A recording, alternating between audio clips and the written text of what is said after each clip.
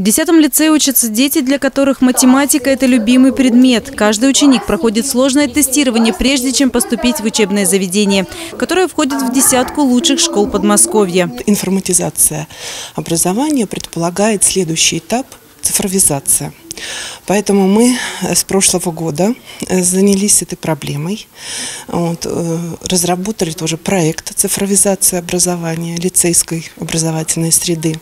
Поэтому для нас это новый шаг в развитии нашего лицея. Алексей Авдейкин пока еще не думает над выбором будущей профессии. С одной стороны, он увлечен программированием, с другой его привлекает дипломатия. Участие во всероссийской образовательной программе «Урок цифры» – хорошая возможность попробовать свои силы в работе с искусственным интеллектом и узнать о новых перспективных направлениях современного цифрового общества. Помимо того, что я люблю математику, я очень увлекаюсь э, политикой и интернет-технологиями. Мне кажется, что сейчас с компьютерами мы будем проводить э, какие-то, возможно, вычисления или более экзотичные вещи.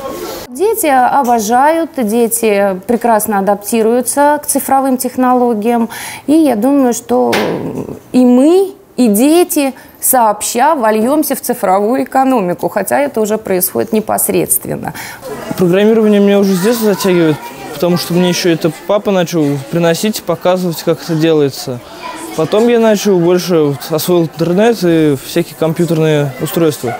И понял, что в будущем это будет только сильнее развиваться. И если я буду в этом преуспевать, то в будущем я могу многого добиться. Учебное заведение уже на протяжении нескольких лет ведет активную работу по развитию робототехники и программирования. Дети охотно посещают кружки и дополнительные лекции по этим направлениям. Явные успехи способствовали тому, чтобы именно 10-й лицей был выбран региональной площадкой по проведению урока цифры. Данный урок цифры, он э, важен, полезен для ребят, потому что именно такая форма и этот урок позволяют в игровой форме осваивать основу программирования, цифровой экономики.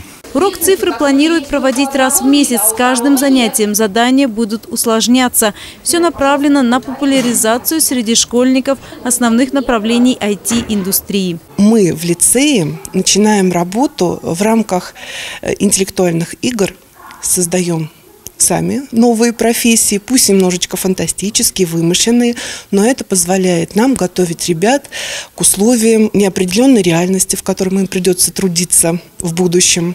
Работа в команде. Вот, и считаем, что успех будет именно в этом направлении благодаря вот такому универсальному инструменту цифра. Технологии стремительно меняются, запросы цифрового общества растут. Задача подрастающего поколения – быть готовым к переменам и воплотить в жизнь даже самые, казалось бы, нереальные идеи. Мария Шматкова, Станислав Трифонов, телекомпания «Одинцова».